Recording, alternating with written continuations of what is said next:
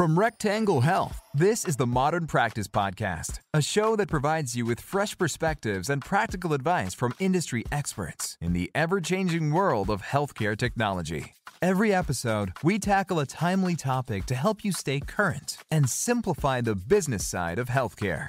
Without further ado, Hello, everybody, and welcome back to the Modern Practice Podcast. Really excited for today's episode as we're joined by Dr. Ben Turnwald, owner of Benjamin Turnwald Dentistry. Ben has been running a successful and rapidly growing dental practice for over 10 years, and more recently founded Life Goals DDS to help guide dental practice owners and staff to reach the heights he has. And without further ado, Ben, thank you so much for taking the time to join me today. Happy, happy to have you on the show. Yeah, of course. Thanks. Uh, thanks for inviting me. It's a pleasure. Pleasure is all mine. And before we get into the story of your practice and again that rapid success, uh, um, can you talk to me a little bit about your decision to pursue a career in dentistry? Was it something you always wanted to do? Did you have dentists in the family?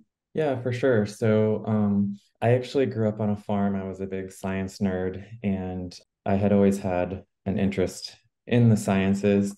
Um, once I got to college, um, as I was deciding sort of which path to pursue, I come from a family of small business owners, no, not dentists, but small business owners. And so I felt like dentistry was one of those paths where I could still own my own business without being part of a, a giant organization, which was important to me because I have that that interest as well, the the business side of things. And you touched on this just a moment ago, and when you entered the dental field, when uh, how long were you practicing before you decided it was time to to open your own practice or acquire your own practice? Yeah, so I I sort of bounced around a little bit my first year out of school. I I was one of those lucky people that graduated during the recession 2009 and I found out very quickly that I I was not going to be the type of person that wanted to work in somebody else's practice for very long. And so I was actually lucky enough to, through my network, finding a doctor that was a little bit older and, and looking for someone to eventually take the reins over his practice. And so I really started to um, start that engagement about a year out of school. So it all just kind of fell in place for me but i think i i knew i mean like i said i knew before i even went to school that i wanted to own my own practice. So i was willing to do whatever i needed to to you know get experience both with the business side of dentistry and also the clinical side because both are important. Um, and luckily i had a, a good mentor in the practice that i had started working at. Do you have any doubts or fears when you took that leap?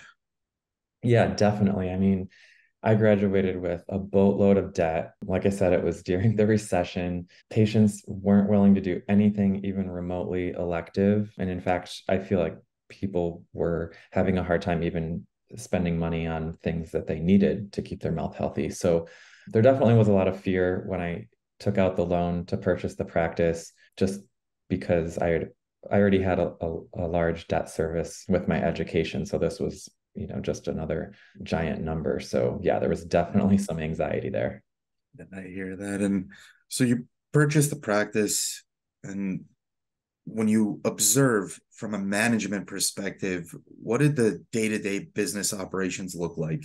Well i'll tell you when i first purchased my practice or i should say when i first started working at my practice because i was i did kind of do a gradual buy-in as an associate and then partner and then full owner but back in 2010, I believe it was, when I started at my practice, uh, we were still tracking production and collection numbers on a paper ledger wow. um, every day. We did not have a website.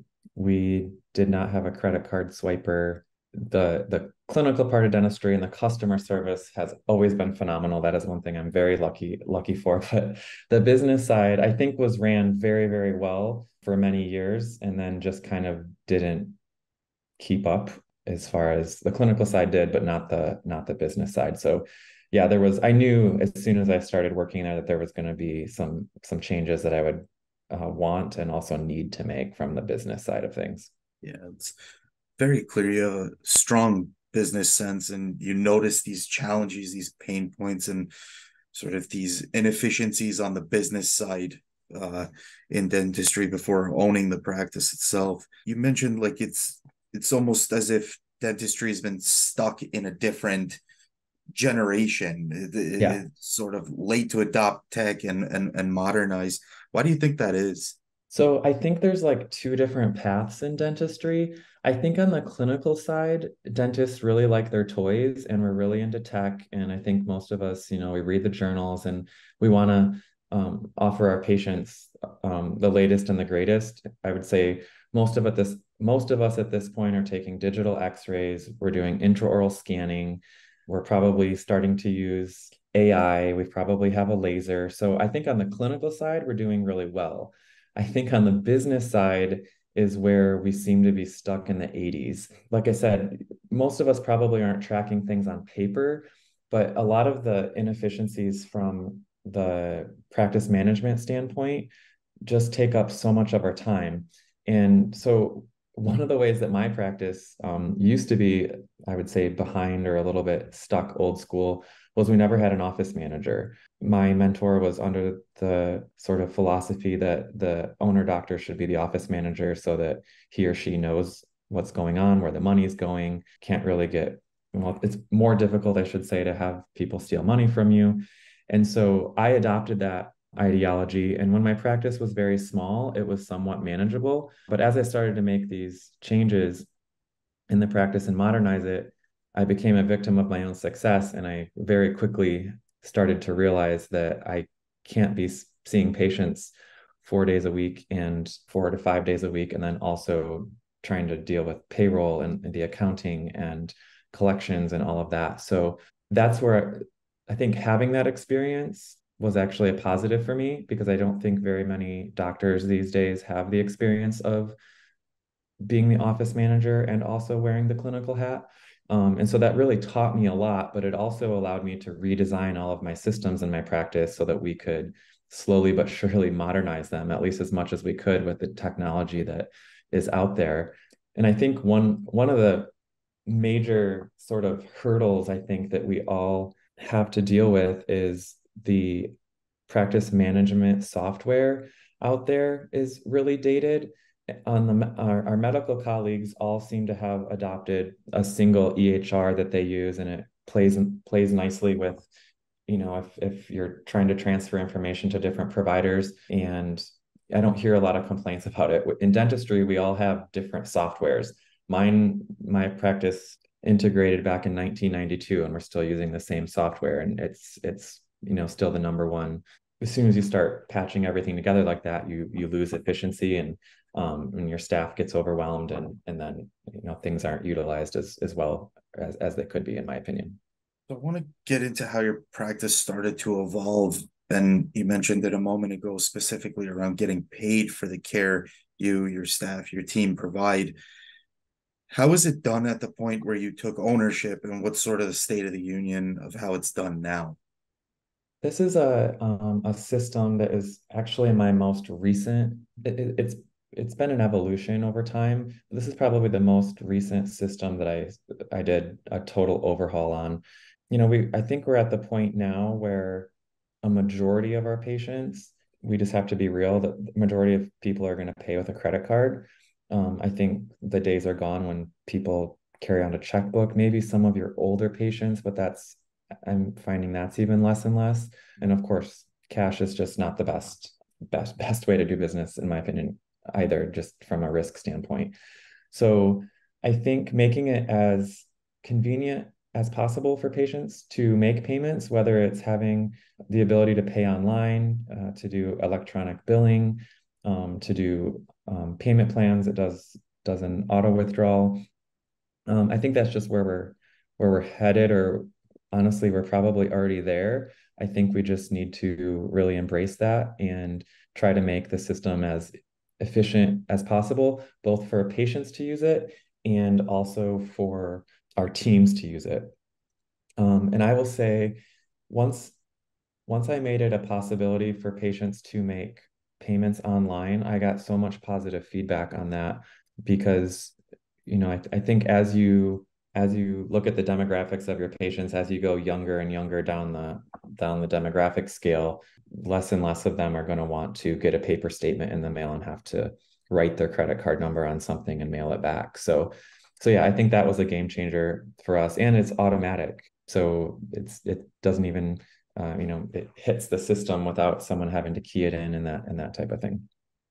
And when you did implement that change how did how did the patients that have been with that practice prior to you taking over and while you're there now take to that change I've gotten nothing but positive feedback as I've incorporated the tech into the collections protocol in my practice. I mean, even from upgrading from the swipers at the front desk to the chip card readers, and now we can take Apple Pay and Android Pay, the widget on the website, being able to get a text message to pay, uh, an email to pay, those have all been highly praised by our patients. And we've gotten just I don't think I've heard one negative piece of feedback on on any of the tech that's been implemented as far as how to make payments. Yeah, and what's that do for the staff? Has, has your staff had that same sort of positive reaction? Is it saving them time to you know take on more? Um, how, how's that looking? Yeah, I mean, I think I think one aspect of it is that all of our teams want to feel like they're working in a really good practice that's high tech and is cutting edge. And so I think, I mean, this is just a simple example, but when we got the the credit card readers that had the the tap to pay, uh, I could just hear the enthusiasm in my my business team's voice when they'd be like, "Oh yeah, you can use Apple Pay as well." It just made I feel like that there's that like cool aspect to it as well, yeah. where they feel like they're working, you know, they're working somewhere that's cool and hip, and um, where you, yeah, you of course you can pay by Apple Pay. So there's that aspect. I will say, whenever you try to implement probably a new system in general, I've found, but particularly with technology, for a certain amount of time, it actually takes your team longer to do what they need to do because it's new. And depending on how complex the software is, um, you know, they get over that hurdle and then eventually they they can start to appreciate it for the time that it saves them. So I don't I think um, you know, changing our payment solutions was no different. You know, I got some pushback because it didn't seem to be at the beginning that different from what we had before. But now that now that we're going on about a year of of making those changes, uh, I, I would get major pushback if I tried going back. So, so yeah, I, I don't think that's like necessarily specific to changing your merchant or your or your you know collections. I, I think that's just systems in general, which is part of what you have to have a, a good skill set with of helping or allowing your team, I should say, to have some input whenever you change a system, because if they feel like they're just getting something shoved on them, then they, they tend to push back a little bit, a little bit more. Yeah, that makes sense. And can to shift gears here. So staffing shortages, employee retention, burnout have hit healthcare pretty hard among other industries. And if we're looking at it strictly from a business standpoint, um, it could be healthcare or any industry. As a leader of an organization, as, as the owner of an organization, how important is it to you to equip staff with tools like uh, that'll enhance their experience, their workflows, make it easier on them? And do you think it makes a difference in attracting and ultimately retaining that staff? Yeah, so I, I go to a lot of dental conferences and dental meetings, and at every single one that I've that I've went to since we were, you know, allowed to go back, I will say, since COVID. I mean, that's the number one thing that everybody's talking about is the team being able to keep your team fully fully staffed, um, particularly with assistants and hygienists. I will say that I've been I've been lucky. I haven't had a lot of turnover. I have had to hire a lot, more so because I, I built a new practice in 2020 and I needed to add a lot of employees. So I, I felt that pain needing to hire. Unfortunately, I didn't I didn't lose a lot of people. But I think there's a couple of things that I have found have been really helpful for me.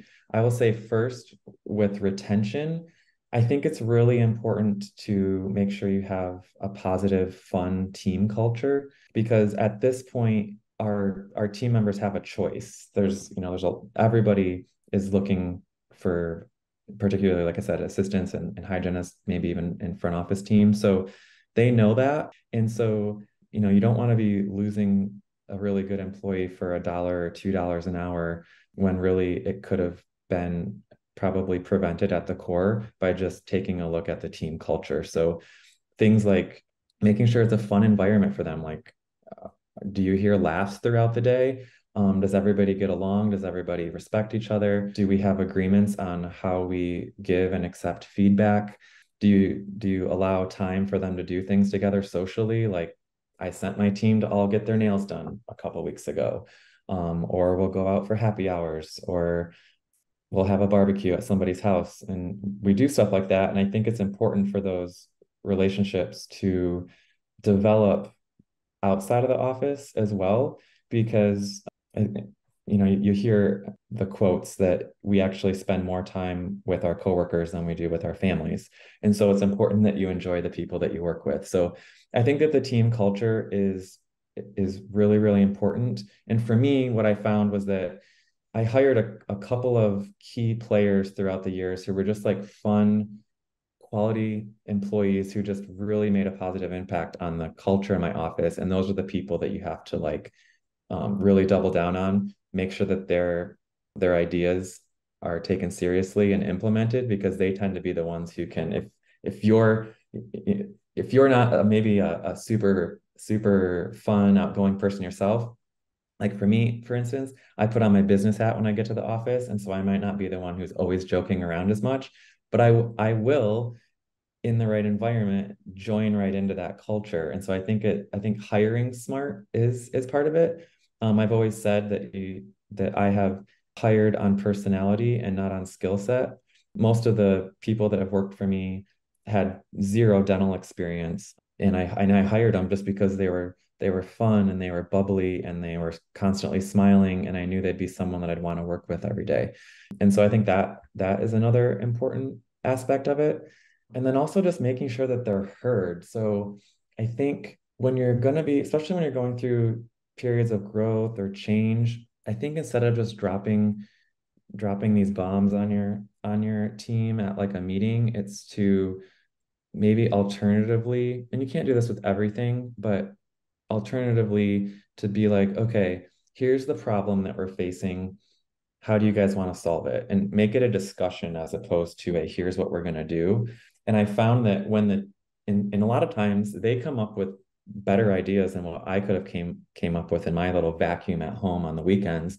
And then it tends to get implemented both faster and tends to stay more implemented because your team was the one that came up with it, um, as opposed to them just being told to do something. So I think those few things are probably the keys that I attribute to my success of not having a lot of turnover. And I think that who knows when the labor market's going to turn around. So I think that you know for the doctors out there that are really struggling with retention I would just take a you know a long hard look at how it is to work in your office and start to change from the inside and then that will attract people on the outside to come in and then you're not having the turnover and it's not the you know the cat chasing its tail it's brilliant and i think i think you get a bunch of hits on your website people look at your career section for sure after that i have no doubt about it um, great insight there. And if we take a step back, look at the way you're implementing and developing the culture within your practices, within your organization, uh, strengthening and giving your your staff the tools to succeed and for your practice to succeed and make the patients' lives easier and make the staff's lives easier. You know, we don't have to get into exact figures, but what kind of impact do you think that makes on the revenue cycle, your revenue cycle? as far as um, like the patient experience and the team experience? yeah how you have you built and equipped your staff yeah. to, to manage the practice i mean i think it's honestly aside from doing good clinical dentistry i think that that's literally everything because the your team is who your patients are going to interact with the most and so, if you have a team who is friendly and caring and they have high psychological ownership of the practice, where they individually act like owners, like for instance, something as small as there's a little piece of impression material on the carpet or a little piece of paper on the carpet like it warms my heart when i see my team members bend over and pick that up instead of just walking walking by. Because small things like that are what our patients notice. They want to make sure they're in a you know in a clean organized space. And i think people are impressed when they walk in and they're greeted by name even if it's their first time if it's their first time there or the amount of time that they get they're, they're not rushed. If you look at my google reviews it's just i can't believe how friendly everybody is. It's just friendly friendly friendly friendly in all of our google reviews. And so that goes down to the team. I think i can be the friendliest dentist in the world but if if the person who answers the phone the first time someone calls has a scowl on their face and then they have a scowl on their face when you walk in and you're ignored when you walk in or you're left in a room for a half hour waiting i don't think it really matters how friendly the dentist is. It, it's a team it's a team sport. And so yeah i attribute the growth and the success of my practice other other than the the clinical side which honestly i don't think patients can always appreciate it until they're you know their crown lasts 20 or 30 years so it's not an immediate you know something that they're they're necessarily grateful for because they can't they don't really know.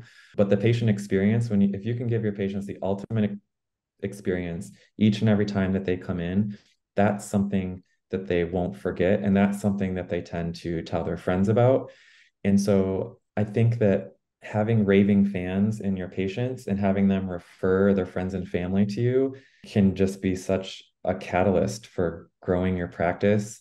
And also, I think preventing burnout and preventing turnover because usually your biggest fans tend to refer people who are also going to be your biggest fans and are going to be you know fun to work with easy to work with they pay their bills they show up for their appointments um, that type of thing so yeah i honestly attribute that to you know almost everything for the success of my practice is patient experience. And that's another area where i love helping other doctors improve that because i you know we talk about being stuck in another generation.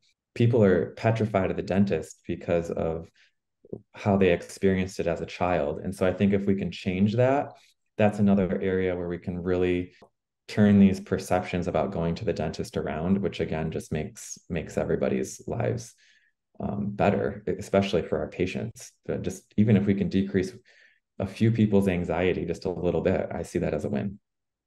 Yeah, absolutely. And I think word of mouth, those referrals are definitely that non trackable type of free marketing when you deliver this exceptional experience through and through. It just happens organically and it's key to growing any business. And is a perfect segue because we've spoken a lot about you, the practice, and how you scaled for growth.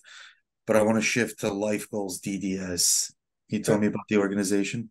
Yeah, so I formed uh, Life Goals DDS a couple years ago as the pandemic was raging, and I was finding that, uh, as I mentioned before, I was kind of a victim of my own success with the practice. As the practice grew, I found myself of course i was i was the office manager. I was seeing patients um, full time and like a typical dentist i'm the i'm the person that i wanted an a plus in everything. And so i was trying to um, modernize my practice. I was i was trying to innovate and change the business side of my practice and practice management. Um, i was trying to give my patients the ultimate patient experience. And i was also trying to do some really complex dentistry. And of course, I wanted to do it really well. And what I found is that I was burning the candle at both ends and eventually got to the point where I was, I knew I just, I needed to make a decision because I was burning out. And I decided that I could probably help more people um, by focusing on the business side of dentistry and finding help for my patients um, to replace me for the clinical side because I feel like I'm a unicorn and most most doctors are more into the clinical side of dentistry and um, prefer not to really touch the business side. They have their business managers for that or consultants or whatever.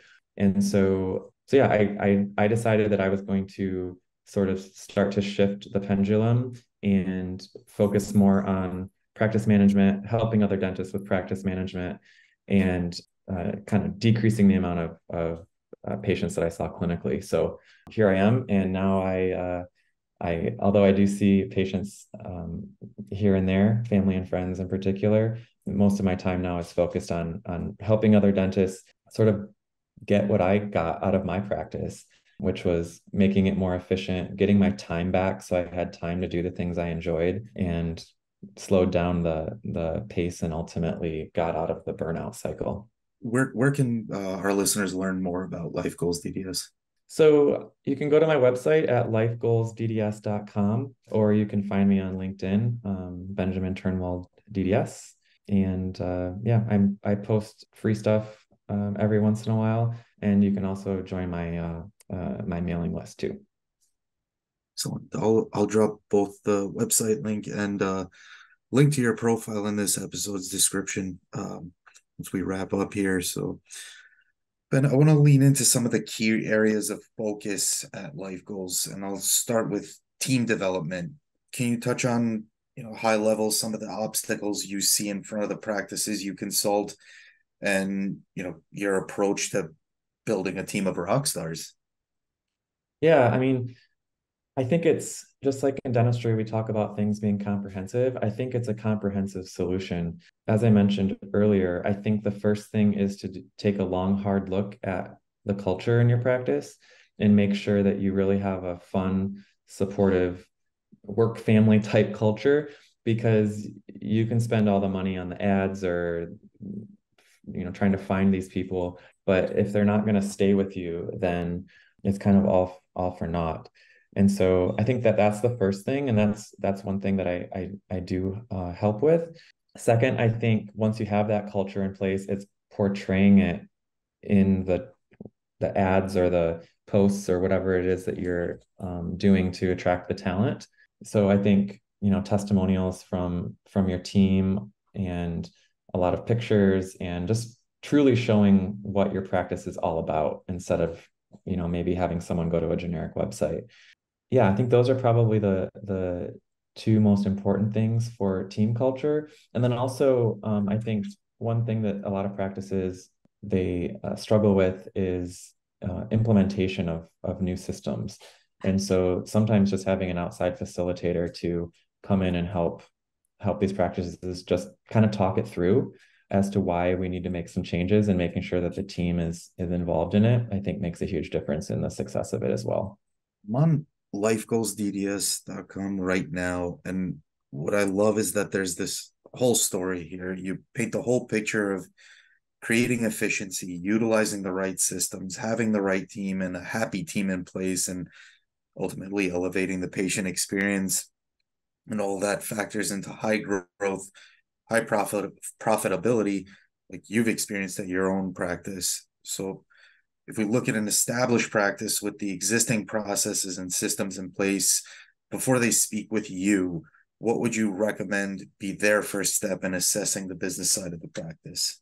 Well, one of the things that I usually advise people to do is to make sure that you have your your executive board put together. And so that's always something, you know, even if someone doesn't work with me, if they need a referral to put together their executive board, I'm always happy to um, to help with that. But um, you know, it really does take a team. You need a you need a good accountant, you need a financial planner, you need a, a good attorney just for certain things, an HR company, and then um, honestly a mentor, whether it's clinical or business or both. I think being able to pick from you know different brains different ideas um, i think is is super important i don't know if it's necessary as a precursor but it's definitely something that I suggest that particularly practice owners start to develop over time because I, I really think that that is one of the things that really contributed to my success.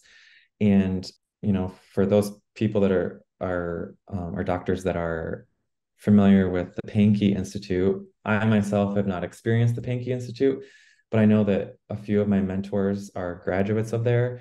And each and every one of them told me that you know one of the core philosophies of, of the Pankey Institute was to once it's your turn and you know there's a younger generation below you it's very important for you to you know be a mentor and pass on your knowledge so that we can leave each generation of dentists at least one step ahead of where we started. And so um, i've i've uh, absorbed that philosophy and have tried to kind of pay it forward um, in that same in that same attitude as I have been blessed with with my my great mentors. So that's part of the reason as well why I why I started Life Goals DDS. I love that and love that and definitely recommend all of our listeners tuning in today to connect with Ben and uh, take take in all the insights you can from him. The brilliant mm-hmm. mind. And I just have one more question I like to ask all of our guests here on the show and and and you you you've touched on it a little bit uh, as far as mentor mentorship but what is the best bit of advice you receive to drive and motivate you or and to reach the heights you have? Oh man that's a tough one. I would say probably to see um you know when you trip and fall or when something doesn't go as well as it should to see it as an opportunity to grow and learn from it. I think I've made a lot of decisions, a lot of decisions over the years that turned out to not be the right decision, but I can tell you now, you know, having owned owned a practice for as long as I have that I'm not going to make those mistakes again. Um, but I think that they were important in my in my learning process. Um, and I think along with that, a, a doctor had told me a few years ago, and this makes so much sense to me, is that when you're making a clinical decision, that's kind of how our brains are trained as dentists, and you research, you research, research, research the heck out of something to try to make sure you're making the right decision for your patient or your patients. But when it comes to making business decisions, a lot of times you has got to go with your gut. There's like, there's not a white paper on it. There's not, you know, a solid Google search you can do. I mean, of course, you want to do your due diligence, but a lot of times you just got to go with your gut and nobody's going to die if it doesn't turn out and then you just learn from it and you move on. And so that's part of that's part of what i like to do as well as i like to share my failures with other doctors and small business owners because you know there's no reason that they should have to make the same mistakes that that i have and i think i think collaboration is key. I absolutely love that and i don't remember which athlete it was that I don't lose, I just learn. And what you just said just reminded me yep. of that time. So love that. Totally. Thank you so much for all the insights you shared today. And I really appreciate you taking the jo- time to join me. I hope we can get together again real soon, Ben. Yeah, thanks for having me. It was fun. For our listeners tuning in today, if you enjoyed the episode, hit that like and subscribe button on your favorite streaming channel and be sure to leave a review. Let us know what you'd like to hear discussed on future episodes of the Modern Practice Podcast. Thanks for tuning in. Till next time, everyone. Thank you for listening to the Modern Practice Podcast. If you enjoyed today's conversation, subscribe on Apple Podcasts, Google Play, Spotify, or SoundCloud for new episodes. And follow Rectangle Health on social media for more helpful information, news, and event details. Thanks for tuning in.